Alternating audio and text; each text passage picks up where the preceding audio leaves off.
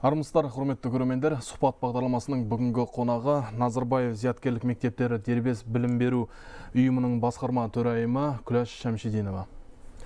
Күләш новатайқызы студиямызға қош келдіңіз. Бүгінгі сұхбатымыз мына назарбаев зияткерлік мектептерінің жетістігі жайында болмағы. Сұхбатымызды бастамас бұрын жақында ғана юнеско сыйлығын алдыңыздар білім беру саласындағы. Құттықтағым келеді сіздерді. Жетістіктеріңізге. Алдымен осы сауал сұрағымызды осыдан бастасам. Жалпы бұл білім саласында сыйлық деген қандай сыйлық жалпы?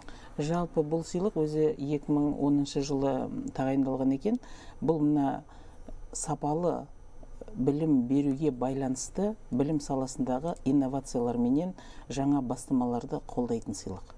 Бұл сыйлықтың ең негізгі мақсаты мына сапалы білімге жастардың балалардың оқушылардың қолжетімділігін арттыру үшін тағайындалған сыйлық. Және осы сыйлық арқылы дүние жүзіндегі ең жақсы тәжірибені жалпы елге жеткізу білім саласында жұмыс істеп жүрген қызметкерлерге жеткізу. Енді жылына екі сыйлық тағайындалады. Сол сыйлықтың біреуі биыл бізге бұйырған екен. Жалпы қандай жетістіктер үшін берілді жалпы бұл жалпы бұл не үшін қандай жетістіктер дегенде жалпы бұл сыйлық биылғы тақырыбы сыйлықтың мына университет, университеттер менен мектептердің арасындағы әріптестік. Осыған байланысты біз биылғы өзіміздің берген проектінде былай деп бердік. Мына университеттер менен мектептердің арасындағы әріптестік балалардың игілігіне жаратуға арналған проект болатын. Яғни біз мына мектеп бітірген баланы осы жол бітірді осыменен бітті деп қоштасып қалмаймыз. Біз балалардың ары қарата жоғарғы оқу орындарына түсуіне және кез келген емес ә, жақсы оқу орындарына түсуіне көмектесеміз. Ә, бұл жерде бізге ең үлкен үш нәрсе айтылды. Ең бірінші біздің сертификатымыз мына дүние жүзіндегі халықаралық білім бағдарламаларына сәйкестендіріліп отыр қазіргі таңда. Себебі біз 12 жылдыққа толық көштік. Балалар фаундейшнсыз кез келген университетке түсе алады. Яғни мына біздің мектепті бітіретін түлектердің ә, университеттерге түсу мүмкіндігі жоғарылады. Екінші мәселе бұл жердегі мына қазақстанда біз вуздарменен жұмыс істеп отырмыз. Яғни біздің мектепті бітірген түлектеріміз ә, мына қазақстандық вуздарда ә, 15 вузда қысқартылған бакалавриат бағдарламасымен оқи алады. Екінші бұның сыртында сегіз вуз біздің оқушылардың мектепте алған кредиттерін есепке алады. Міне осыны да үлкен нәрсе деп бағалап отыр. Себебі біз өзіміздің оқу бағдарламаларымызбенен жоғарғы оқу орындарының оқу бағдарламаларын түгел салыстырып қарадық.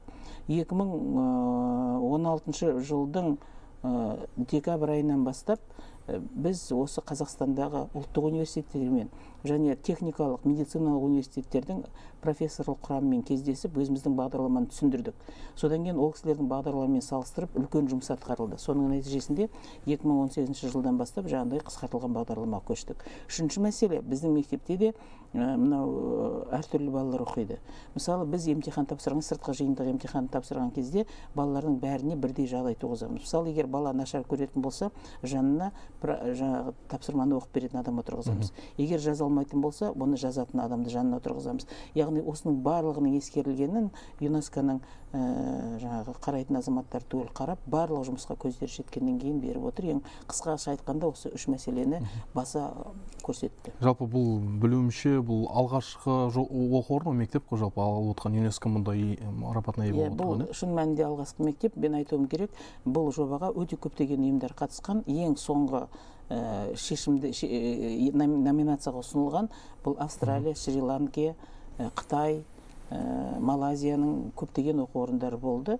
Солардың ішінде біз ә, жүлдені жеңіп алдық. Жаңа өзіңіз айтып кетті юнеско ескерген талаптары жөнінде айта кеттіңіз. Мысалы сіз бір осы жерде сұрағым туындап отыр. Жалпы назарбаев зияткерлік мектебін бітірген түлектер жалпы ә, сертификат беріледі оларға? Иә. Мысалы сол сертификат қандай отандық және шетелдік университеттерде мойындалады? Ә, енді мынау отандық университеттер шын мәнінде бүгін жаңа айтып отырмын ұлттық университеттер мойындап отыр. Бұл біздің әсіресе жоғарғы орындарының флагманы ғой енді өзіміздің қазақ ұлттық университеті әл фараби атындағы мынау еуразия ұлттық университеті. Бұл университеттер әр факультетіне түскен факультетіне байланысты әртүрлі пәндерден кредитті қабылдайды. Бір факультет математиканың біреуі қазақ тілінен біреуі орыс тілінен біреуі ағылшын тілінен деген сияқты. Ал енді мынау кбту сияқты қазақ британ университеті кимэп мынау асфендияров атындағы медициналық университет. Содан кейін мынау ә, сәтбаев атындағы біздің ұлттық техникалық университет. мына көптеген техникалық университеттердің барлығы қысқартылған үш жылдық бағдарламамен былтырдан бастап қабылдап жатыр балаларымызды. Шетелге келетін болсақ ең бірінші бізді мойындаған мынау нарик деген бұл великобритания.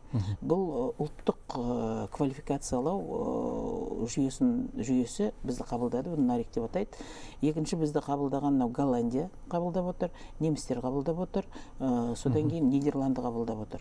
Мына жерде бір айта кететін нәрсе бар. Мынау орталық базасы бар. Мынау сертификаттарды мойындау туралы. Бұл юкас деп аталады великобританияның. Біз сол жерде мынау дүние жүзіне белгілі IB сияқты бағдарламалармен AP сияқты бағдарламалармен қатар тұрмыз. Ә, бұл деген сөз бұл юкастан 800-ге жоқ дүние жүзінің университеттері мойындайды. Ең бірінші бізді мойындаған мына дүниежүзілік университеттерді айтатын болсақ бұл кембридж университеті юпен юпен пусан университеті. Енді қазір мен айтайын қазір біздің тоғыз түлегіміз мына лига плюща дейді сонда оқып жатыр.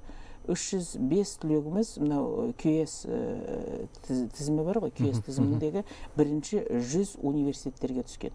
Бұл балалардың басым көпшілігі сол университеттердің гранттарына оқып жатыр. Енді құлаққа тиімді жақсы естілетін университеттер бар. Гарвард стэнфорд MIT университеттер мысалы. Қарағандыда бізде бір семьядан екі бала түсті. Екеуінің бірі екеуі де мынау лига плюсшаға түсті. Мысалы былтыр алматы қаласын бітірген біздің екі оқушымыз екеуі гарвардқа түсті. Екеуіне де гарвард университеті өзінің грантын беріп отыр. Күләш новатайқызы мына біздің студиямызға арнайы келіп тұшымды ойларыңызбен бөліскен үшін сізге тағы да алғыс айтқым келеді. Марапаттарыңыз тағы да құтты болсын. Рахмет сіздерге. Құрметті көрермендер естеріңізге сала кетейік сұхбат бағдарламасының бүгінгі қонағы назарбаев зияткерлік мектептері дербес білім беру ұйымының басқарма төрайымы күләш шәмшидинова. Аман саулықта жүздескенше